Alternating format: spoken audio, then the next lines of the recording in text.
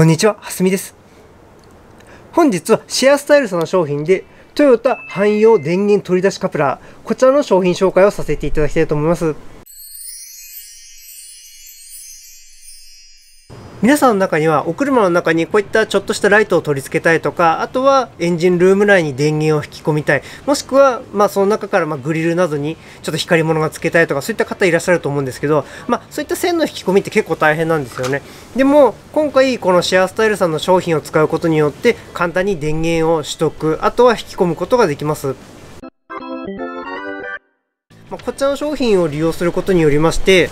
30系アルファードベルファイア前期後期をはじめといたしましてノアボクシー80系前後あとエスクワイア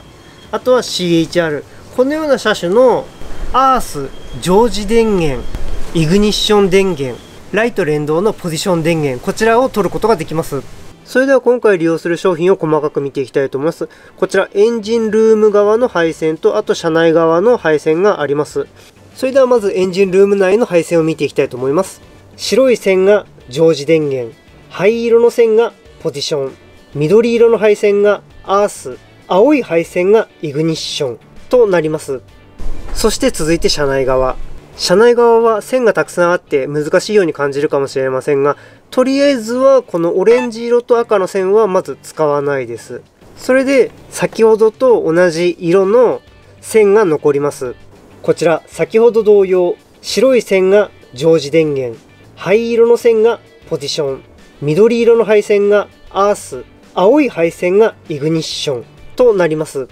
それでこちらメスのギボシ端子になるのですが同じ色でオスのギボシ端子が余っております。こちらこの同じ色同士のものをつないでいただくことによりまして車内に来ているこの4つの電源をエンジンルームに送り出すのがこちらの役割となっております。こちらとこちらをつなぐことによりまして、初めてエンジンルームの配線の方に電源が来るような形になります。それでは実際に接続して動作を見ていきたいと思います。それではこちら、アクセルの横にありますキックパネル。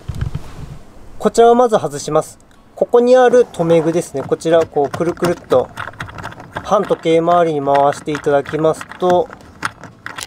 こういった形で外すことができます。そうしましたら奥側の方ちょっと持っていただいて、手前側に引っ張ります。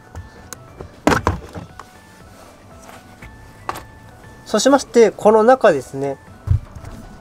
この位置に空いてるカプラー、こちらがあるはずなので、こちらの方を確認してください。純正もしくは社外品のコーナーポールなどを利用されている際はここに空きがない場合もありますので今回の商品購入する前にはこの空きカプラーがあるかどうかをしっかり確認してください。それでこちらビニールで巻かれてますのでビニールを外します。それでは外しますとこのような形で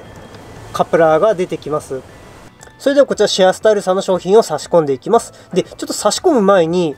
このメスのギボシ端子ですね。この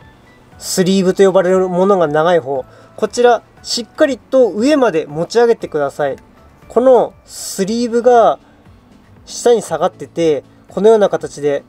端子がむき出しになってますとショートする場合がありますのでこちらはしっかりと上まで上げてあげてください。それではこちら差し込みます。もう必ず一方向にしか刺さりませんのでこちらしっかりと差し込んでいただいてこれで電源が取れる状態になりました。それではこちら簡単に作成しましたライトですね。こちらの方を試してみたいと思います、まあ、利用するのが常時電源となります。まずはアース。アースが緑色の端子になります。こちらアース端子なんですが本来オスの端子を利用するのですがメスの端子がくっついてますのでこれちょっと出しましてでこちら側のアースマイナス側とつなぎます。ちょっと今回は試運転っていう形になりますので適当にくっつけますが本来はちゃんとくっつけてください。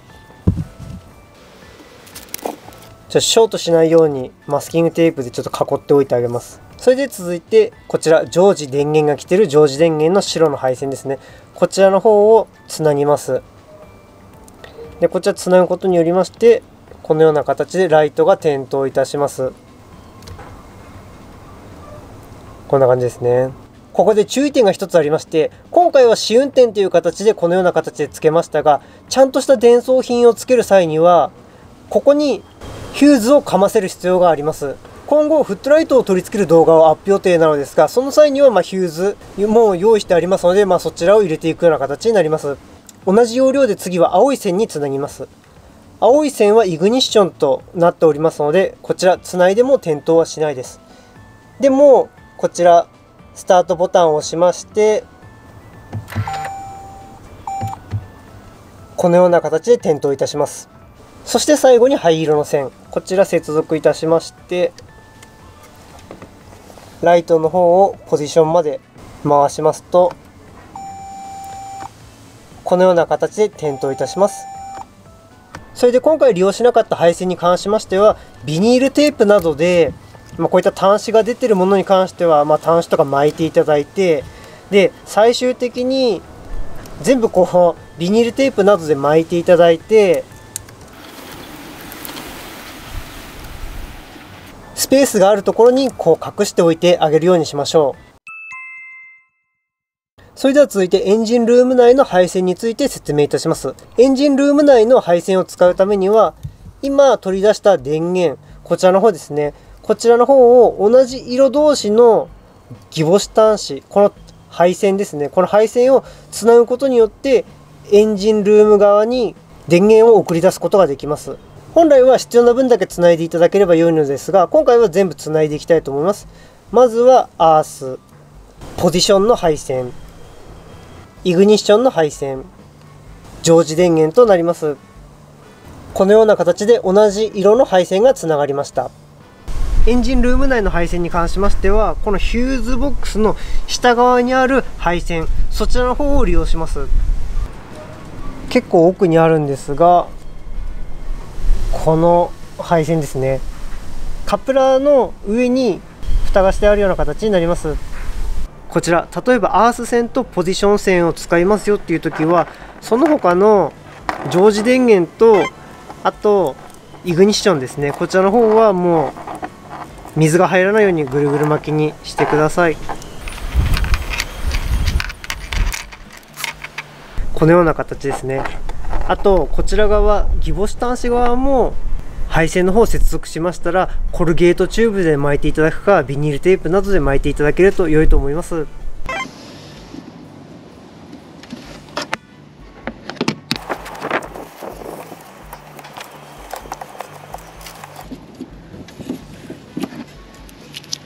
こちら。あとはこの先端のキャップをこう外すだけなんですが全然外すことができないので本当はここをこ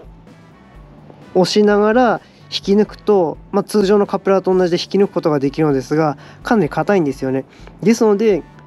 マイナスドライバーこちらをこう差し込んでいただいて止まってるところをちょっと起こしてあげます。でそうしてこう引き抜いていただければ外すことができます。こちら外しましたのでこんな感じで抜けますね。ここ1箇所で止まってますのでこの辺ですね。この辺に差し込んでいただいてこうめくり上げるような形で止まってるところを解除していただいて引き抜いていただければこちら外すことができます。こちらこの向きですね。こちらでつけていただくと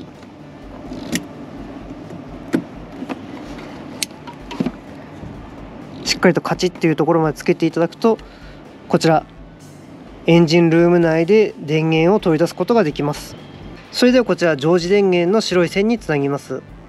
このような形でボンネット内に電源を引き込むことができました。そして最後注意点なのですがイグニッションとポジションに関しましては絶対電源を入れないということを前提といたしましてバッテリーのマイナス端子を外さずに作業しても良いと思いますが常時電源に関しましては自己責任という形でもう完全に逃げさせていただくのですがマイナス端子を外さずに作業を行った場合に関しましては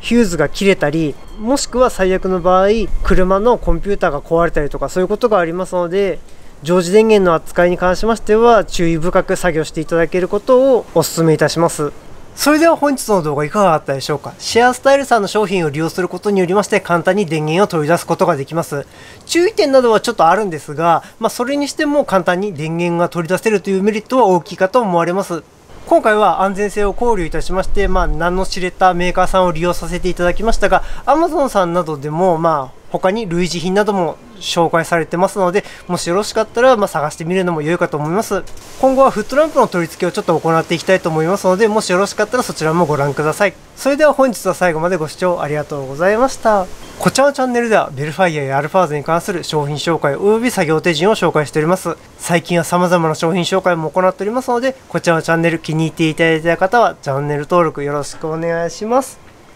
次はあなたの番です。